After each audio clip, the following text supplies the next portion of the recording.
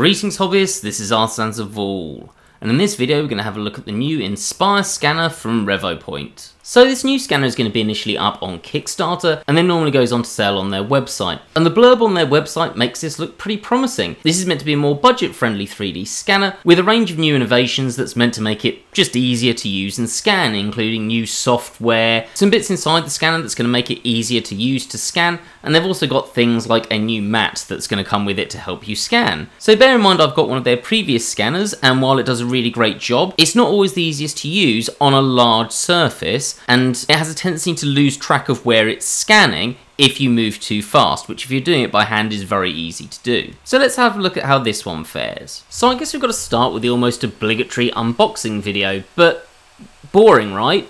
Well, actually, I thought this was worth including because this is meant to be the budget version of a 3D printer, and I expect it to not have much with it. So we've got the standard calibration board, and then underneath it, the fabled mat that was shown on the website. And I thought that was all there was going to be, and yet below it, there was this disc, which then goes on a turntable. So actually, we're not missing anything here. We've still got a fairly decent turntable, which to be honest, I'm probably going to end up using to display miniatures on because it's got a decent power to it. And then we've got this handheld device which also doubles as a tripod. So we're all looking pretty good here. For something that's meant to be a more budget device, it's still got all of the things you'd expect to find in a decent 3D scanner setup. So we're off to a really good start here. Now, it does feel a slightly bit cheaper. I just think it's because it weighs less. There's no actual real difference to this in my other 3D scanner, other than a slight difference in weight. And other than that, yeah, we're off to a really good start as far as I'm concerned. But let's have a look at how well it actually scans. Now, the first thing I actually scanned was a can, and that might seem a weird choice, but let me just explain my logic here. It's a can with sort of a crumple in one side because it's something that it's very difficult to actually model, at least in a way that's realistic. But more importantly, in the past, this has been a difficult thing for my scanner to actually scan. The reason for that, I think, is because, well, it's basically a round object, which means there's not a lot of features to mark off of it. So I had this set up to use the markers, and you can see as this goes round, it's tracking those markers really well. Definitely better than the old software used to, and my other 3D scanner.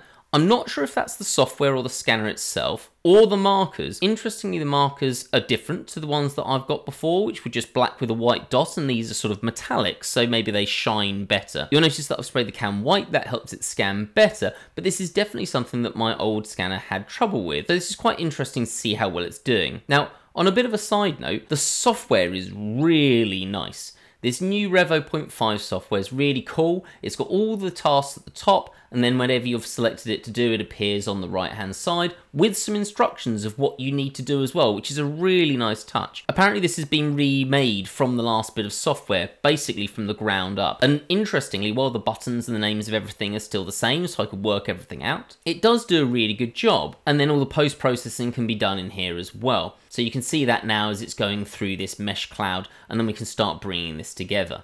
Once you've converted your scan to a mesh cloud, you then convert it to a full object, and I'm just going to speed through that because it's just processing it basically. Now you've also got some options to automatically fill in things like holes, which I've put up to, I think it was something like 30%, and that seems to do a fairly good job from what I've seen. And that then results in this end pod of having this can that's scanned. So let's bring this into Blender and have a look at how good this actually is. Well, first off, we don't appear to have a lot of the issues I was kind of expecting. There's no join mark where the scanner didn't really recognise where places were joined together, typically on the back surface, which would be just here where it's rounded and flat. And the detailing's really good. We've got this really nice texture of this crumpled can without really any errors, which is really nice. Now look at the top, there's a slightly flat bit, that's where it's filled in a hole. That's sort of my fault for not having the scanner slightly higher up. And I will say there is a slight graininess to the outside texture here. That might be me having been a bit excessive with the white spray paint when I was spraying it white because this originally was a Tango can and therefore was mostly black, so getting it white took quite a lot of spray, and I was a little bit impatient to get 3D scanning. So that's probably more my fault than anything else. But there is something we can probably do about that. And that's because in the RevoPoint software, there is something we can do to actually smooth it out. So I'm just going to run through that process really quickly. All it is is pressing a button, letting it process, and then redoing the 3D model from it and then we can bring it back into Blender and have a look at it. And actually, looking at it, it looks much better. It does miss out some of the fine detail in that smoothing, but I could have just reduced the iterations, and I think there's a bit of trial and error there. But again, really good, and so far I'm quite impressed with what this scanner is doing, so let's try on something a little bit more challenging. Now for this I wanted to grab a real world object, and to be honest I looked around and there was a boot and this seemed like quite a bad thing to scan because one it's got black surfaces at the bottom which it's not going to like scanning. And also it's got things like shoelaces stitch marks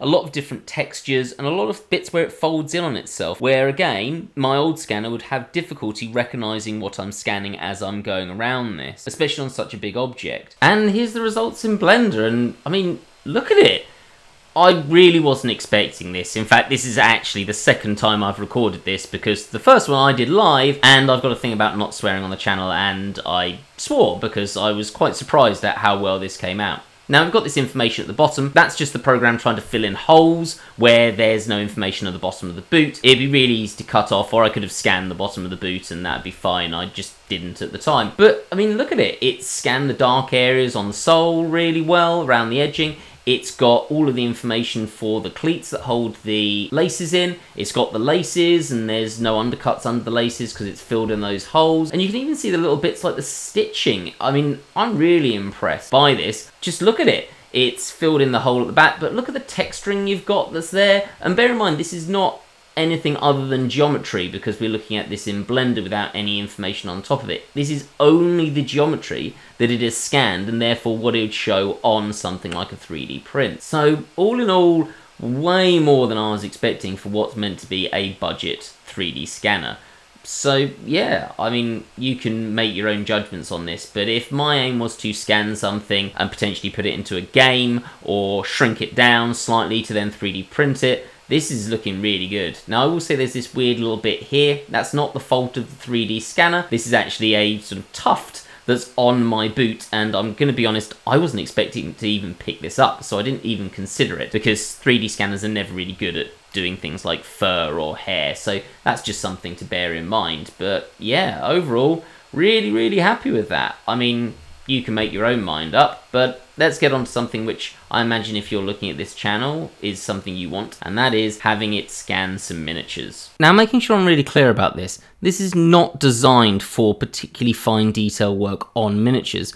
I wanted to see what this looks like because I know how I use miniature scans to help me, and it does say that you should be scanning things that are bigger than 5 centimeters. So I thought the side of this Spartan tank would be about the right size and it would give me an idea of something that I've used previously. I've 3D designed a lot of add-ons for a Spartan, mostly weapons for the side and the front, and I started from a 3D scan, just to make sure that I'm getting everything correctly in place. And there's certain things that you need for that. You don't need every single little bolt on it, but you do need a accurate representation of the general shape. And this is how this came out when transported into Blender. And well, there's a bit of cleanup, which is always the way because it's got the mat underneath it and it's scanning that at the same time. That's really quick to clean up. You just orient it and then boolean out the bottom. But the scan itself, again, really, really solid.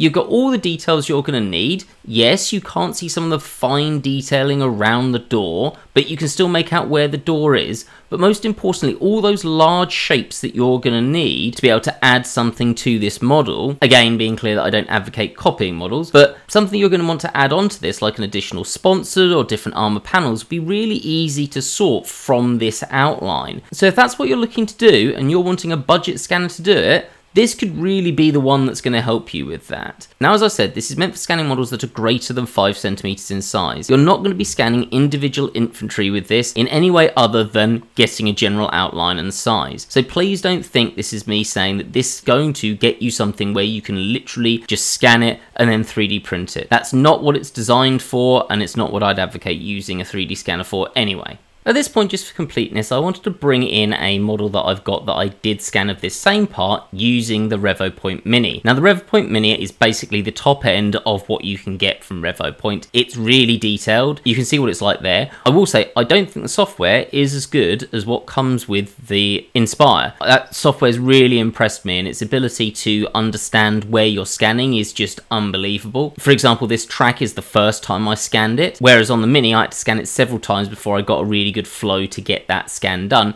but it does then give you more detail. However, I don't think there's much that you'd be able to do with the mini scan compared to that RevoPoint Inspire scan. And bear in mind the RevoPoint Mini costs over $800, and we'll talk about price next. I think this is a really good hit into this sort of affordable industry. Now the other thing I've done just to test it out is scan the same part with the markers and I actually moved around more to get some of the undercuts as well and you can see with this comparison this has given an even better result than the initial one did and once again this software and its ability to recognise those marker points is so much better than what's come before it. So a real up in both the software as well as the technology. So with that, the final thing to do is have a look at the vital statistics of these two scanners. And in the precision department, they are identical. They can go up to 0.02 millimeters, so 20 microns, in terms of the precision they can pick up. And with a point distance of only 0.3 millimeters, the Inspire is still able to pick up really, really fine details. Now, it's not going to go as fine as the RevoPoint Mini, which is 0.05 millimeters, but as we saw on the tank and on the boot, it will pick up really fine textures and any differences that you'd need to model off of. So this is more than capable of doing pretty much anything you're going to want, bar scanning an individual infantry model. And it's absolutely brilliant for scanning something that's a real world size and then shrinking it down. In fact, I think that's where this shines more than anything else. And as well as the awesome extending handle that also acts as a tripod that you get with this, I mean, that was a really pleasant surprise. You can also buy a pack that adds on a battery pack, which you can see me putting on here, so you can use that to power the scanner as you scan as well, and there's additional bits that allow you to then add your phone onto that as well, so you can use an app to be able to then look at this and see what it's doing as you scan. And the software can then take this in and then use it to create the 3D scan geometry that we looked at previously. So let's talk price, and the big one I'm mentally comparing this to is my RevoPoint Mini, which is $879 at the time of recording this. So bear that in mind for not a particularly massive difference in terms of quality and no difference in quality if you're scanning something larger. So the Inspire, when it's at full price, is going to be $439, so about half the price, which to me seems damn good as a one-off payment. Now this is starting to remind me of what basically happened with 3D printers, where they just became more and more affordable without really losing quality. And I didn't think I'd see the same happening with 3D scanners, but it kind of looks like it is. Now, if you are considering this, I would really rapidly get over to the Kickstarter because it's selling really, really fast, and they've got limited amounts on each one, allowing you to get, well, at the moment, 35% off is the best you can do, then 32%, and there's a low for 25%. There was originally some for 38% off, but they're already gone. So that's going to get you a really good saving, and when I got my Mini, I purchased it on Kickstarter, saving nearly 40%. So if you're interested, I would get that saving. Hopefully that gives you all the information you want, either to decide that you want this or to realise that it's not for you. Either way, as long as you've got the information, I'm happy. And if you think you want to go even more high end to something like the Mini, then do feel free to have a look at the video that I did on that as well. Have a great day, guys.